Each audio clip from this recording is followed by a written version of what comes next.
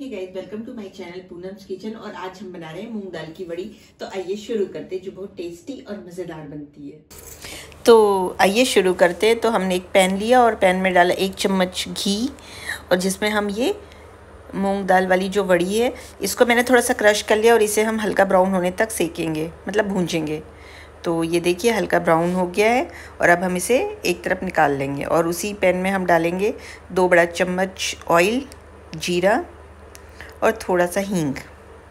और इसमें मैंने क्रश किया हुआ टमाटर, प्याज, लहसुन और हरी मिर्च है, जिसे हम अच्छे से भूंज लेंगे। भूंजने के बाद हम इसमें डाल देंगे लाल मिर्च, धनिया पाउडर, गरम मसाला और हल्दी और नमक स्वाद अनुसार। और इसे अच्छे से दो तीन मिनट तक भूंज लेंगे। अब इसमें हम डाल लेंगे बड़ी और इसे अच्छे से दो तीन मिनट तक भूंज लेंगे। और इसमें मैंने डाला है कस्तूरी मेथी, क्रश किया हुआ। और इसी टाइम पे हम इसमें डाल देंगे पानी।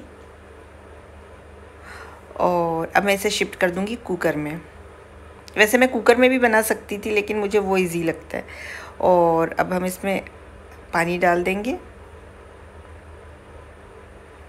तो देखिए, इतनी अच्छी खुशबू आ रही और हम तीन सीटी लेने तक वेट करेंगे।